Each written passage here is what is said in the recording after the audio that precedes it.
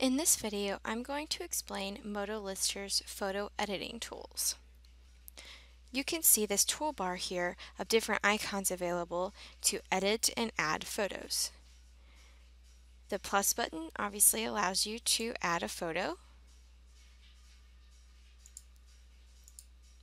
This caution symbol shows that the camera is not available to use with MotoLister at the moment or it is not connected.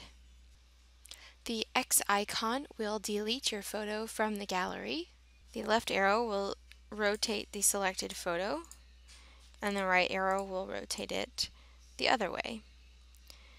The scissors icon allows you to crop your photo if you need to crop it.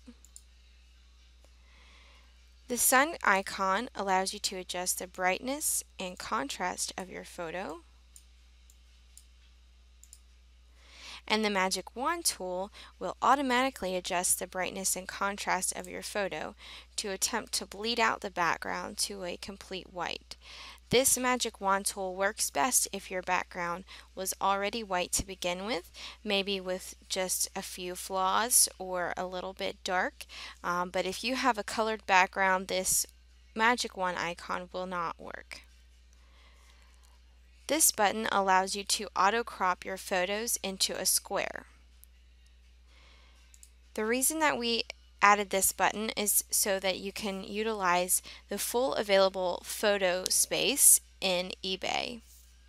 This can be turned on or off.